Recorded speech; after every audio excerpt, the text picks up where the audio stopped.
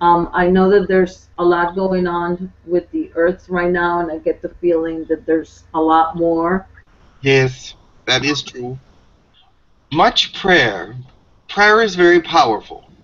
Although some people do not believe that uh, meditation and prayer are powerful, they are very powerful things and they do work. The, because what you're doing is transferring energy into another another form. Does that make sense to you? Yes. You are actually transferring energy into a stronger, more concise form so that it can help greater. If if you we have done studies on your planet as well as ours about people that are being prayed for by many people and their progress is much greater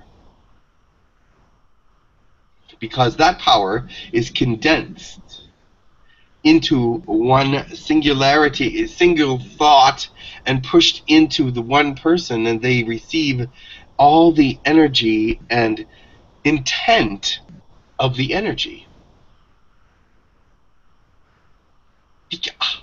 Okay. Continue. So the, Prayer is good, yes. Okay. Send Mother Earth any energy, anything that needs send it to Mother Earth. She has been so good to you, not to me, but to you, and my planet has been good to me, so I thank my planet as well. But send her energy.